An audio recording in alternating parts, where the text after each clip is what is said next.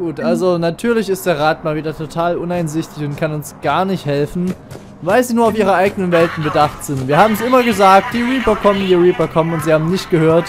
Ja, und jetzt, wo die Reaper vor der Tür stehen, wollen sie einem nicht mehr helfen, denn plötzlich sind ihre eigenen Welten auch betroffen. Aber am schlimmsten ist die Asari-Ratsherrin, die da knallhart sagt, ja, solange sie sich auf die Erde konzentrieren, haben wir ja noch Ruhe. Hm, Dankeschön. Super. Aber wenigstens der Turianer, der eigentlich immer der war, der uns am meisten kritisiert hat und der am meisten ablehnend uns gegenüberstand, der hilft uns jetzt. Natürlich helfen wir... So viel Gequatsche hier. Natürlich helfen wir in erster Linie jetzt erstmal ihm, aber er hat schon recht. Wenn die Mitglieder dieses Gipfels da dankbar sind und den Menschen wohlwollend gesinnt, äh, dann funktioniert das besser für uns. So, blöderweise sind wir dann halt bloß sehr, sehr weit von dem eigentlichen Kampf weg erstmal. Gut, hier können wir Waffen kaufen. Momentan ist das noch nicht großartig von Bedeutung für uns. Und ich sehe gerade auch, es ist keine Waffe dabei, die wir wirklich gebrauchen können. Das sind nun gerade die drei, die ich gar nicht benutzen will. Egal. Aber wir haben hier noch ein Spectre... Hört doch mal so quatschen, Mensch. Haben wir noch das Spectre Terminal. Da wollen wir mal kurz reinschauen. Das ist auch eine Neuerung. Willkommen! Willkommen im Spectre Informationsverarbeitungszentrum. Dieses Terminal bietet sicheren Zugriff auf Informationen und Unterstützung bei der Autorisierung von geheimen Operationen und Requiri oder Requirierungen. Die Benutzung ist nur Agenten gestattet, die derzeit bei Special Tactics and Reconnaissance im aktiven Dienst stehen. Für alle Vorgänge, die eine Bezahlung erfordern, verwenden Sie bitte nebenstehendes Terminal, das finanzielle Transaktionen sicher und nicht zurückverfolgbar durchführt. Ja, wir haben jetzt zum ersten Mal dieses Terminal hier, weil wir ja zum ersten Mal Spectre sind ohne konkreten Auftrag. Im ersten Teil waren wir auch schon offiziell Spectre, allerdings hatten wir da den konkreten Auftrag, äh, Saren zu jagen und zur Strecke zu, äh, zu bringen. Deswegen haben wir vorher gar kein Büro gehabt, kein Spectre-Büro mit Terminal oder sowas. Das kommt jetzt erst. Informationen über die Quarianische Flotte. Die quarianische Pilgerin Genvolan Narnima auf der Citadel erhi erhielt eine größere Flotte... Was erzähle ich denn? Eine größere Geldanweisung von der Flotte. Genvolan kaufte dafür Tech bei mehreren Schiffsbedarfshändlern, darunter Gestelle für Hochleistungswaffen und Emitter für kinetische Barrieren. Auf Ilium hat sich ein anderer, nicht identifizierter quarianischer Pilger nach einer Schiffspassage in die Nähe des Perseusnebels erkundigt. Später soll er gesagt haben, seine Pilgerreise sei abgebrochen worden. Die Daten legen den Schluss nahe, dass die Quarianische Flotte ihre Pilger einberuft und Schiffe für einen Kampf irgendwo in der Nähe des Perseusnebels aufrüstet. Das könnte eine Reaktion auf die Reaper-Invasion sein, aber es liegt weder ein Angebot noch eine Nachanfrage bezüglich Unterstützung vor. Die Informationen deuten darauf hin, dass die Quarianer sich vielmehr auf einen Konflikt mit den Geth vorbereiten. Schlechte Vorzeichen, denn naja, wir wissen ja, dass wir eigentlich beide brauchen könnten als Verbündete, sowohl die Geth als auch die Quarianer. Und wir haben es ihnen noch gesagt, bitte geht keinen Konflikt ein. Jetzt machen sie es aber trotzdem. Hier können wir noch... Ah, nee, das wollen wir nicht, die Schießanlage betreten. Könnten wir machen, ein bisschen Schießtraining da drin. Aber muss ja nicht sein jetzt. Ja, also die Quarianer machen das, was sie nicht machen sollten. Und gehen einen großen bewaffneten Konflikt ein mit den Geth Leider. Wir gehen mal kurz da drüben noch schauen. Ich glaube, da ist nichts mehr weiter. Äh, da können wir momentan nichts gegen tun, aber das wird sich noch ändern. Da werden wir auch noch eingreifen und dann werden wir noch sehen, was wir noch machen können und inwiefern wir da Entscheidungsmöglichkeiten haben, die dann sehr, sehr große Konsequenzen haben können. Erstmal steht der Mond von Palaven auf dem Programm. Die Reaper sind also überall mittlerweile schon und äh, ja, alle haben zu kämpfen. Nicht nur die Menschen, aber wir waren die Ersten, die den Angriff abgekriegt haben und tragen nun die Halb Hauptlast des Angriffs. Der Rat hat verkündet, dass diese galaxieweiten Angriffe Teil eines groß angelegten und organisierten Invasionsplans sind. Ne, wirklich. Und äh, erstmal können wir nichts tun für die Erde. Willkommen, Commander So traurig das eigentlich ist, wir können tatsächlich nicht direkt in den Kampf äh, um die Erde ein eingreifen sondern wir müssen jetzt Dinge tun, die nichts mit den Reapern direkt zu tun haben. Nur mittelbar. Aber was willst du machen? Es geht nicht anders. So, machen wir uns mal auf den Weg. Redet ihr noch ein bisschen mehr wieder? jetzt also ohne Kontaktmöglichkeit hinter den feindlichen Linien, bis der Krieg vorbei ist. Hey. Nein, wir werden uns hauptsächlich in verstärkten Stellungen aufhalten, bis die Einsatzteams einen Bereich gesichert haben. Dann kommen wir, errichten Bunker zur medizinischen Versorgung und Nachschubdepots Und am Schluss besetzt die Hauptflotte die Zone. Ich trage keine Uniform, Schatz. Was bedeutet das? Wir werden zu jeder Zeit in Sicherheit sein. Techniker werden nicht an die Front geschickt. Aber du wirst nicht mit uns sprechen können. Ich wäre mir in diesem Konflikt nicht so sicher, dass Techniker nicht auch an die Front geschickt werden. Ganz ehrlich, da wird wohl jeder in den Kampfeinsatz kommen. Denn hier wird jeder gebraucht. So, für uns geht's zurück auf die Normandie, denn wir haben ein Ziel vor Augen.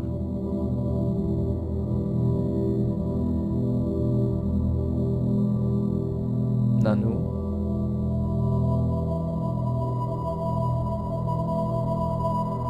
Schlechte Träume.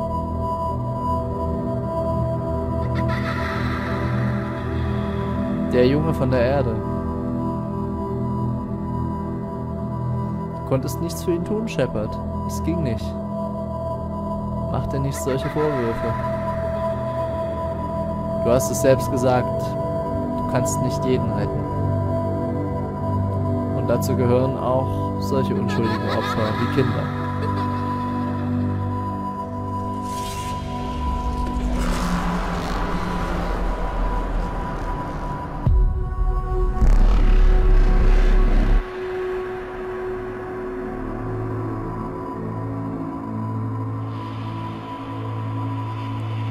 Du hast nun mal einfach nicht die Macht, die Reaper mit bloßen Händen aufzuhalten. Wie willst du verhindern, dass Kinder getötet werden, dass Unschuldige getötet werden? Das kann kein Mensch. In keinem Krieg. Und es ist auch nicht das erste Mal, dass Kinder sterben. In Gegenden, in denen du arbeitest. Du wirst sie nie erreichen.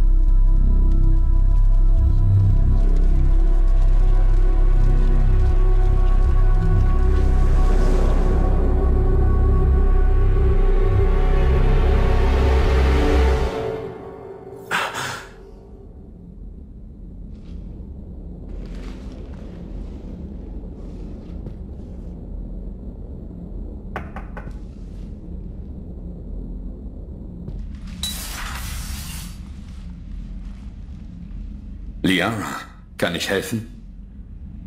Ich habe den Turianischen Ratsherrn über das Proteaner-Gerät informiert. Es kann ohne Unterstützung des Rats nicht gebaut werden.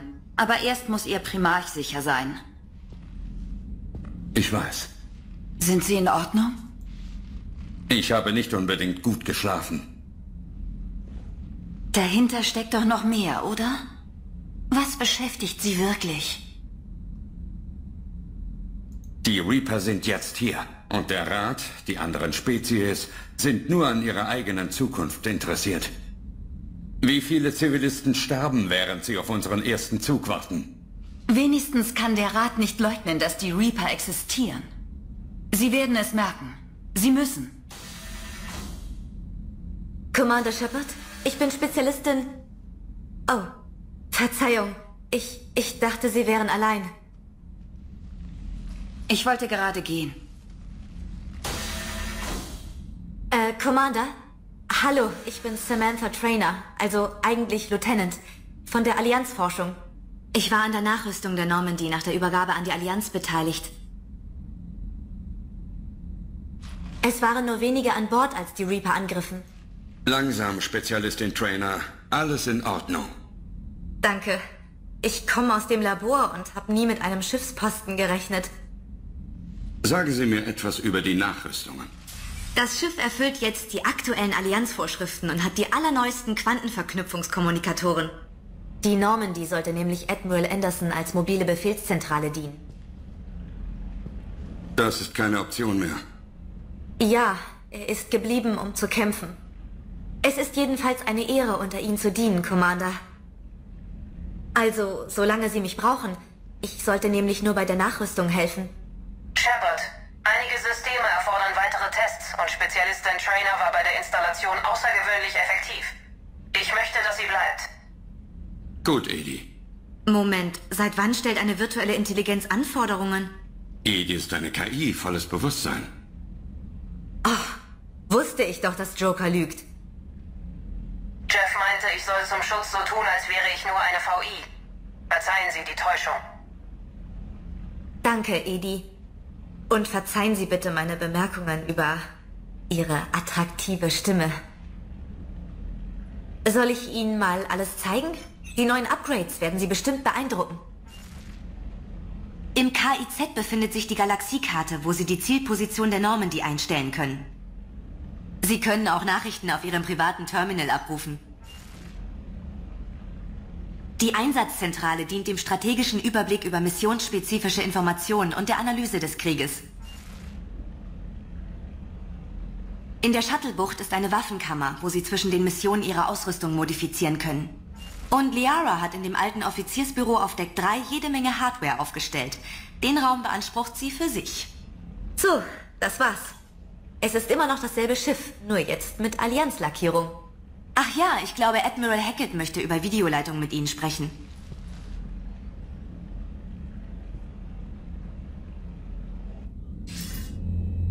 Commander, Udina hat mich über ihr Treffen mit dem Rat informiert. Klingt so, als hätten die alle ordentlich Schiss. Wir haben Ihnen viele Unbekannte präsentiert. Sie fühlen sich bedroht und wollen Lösungen, keine Theorien. Wir haben im Moment aber nur Theorien. Was ist Ihr Plan? Ich will den turianischen Primarchen zu einem Gipfeltreffen mit Asari und Salarianern bewegen. Ich umgehe den Rat und wende mich direkt an die Führungsebene. Das ist gut, gefällt mir. Dort legen wir das Fundament für unseren Gegenangriff. Leider haben wir im Moment nicht viel, um das Ganze zu untermauern. Dann schließen Sie Bündnisse. Versammeln Sie alles und jeden für die Sache. Und das Proteanergerät? Bringen Sie mir Leute, die es bauen. Falls das nicht geht, besorgen Sie Schiffe, Soldaten, Nachschub, was Sie kriegen können. Wir müssen die Reaper auf jedem Kriegsschauplatz beschäftigen, um Zeit für den Bau des Geräts zu haben.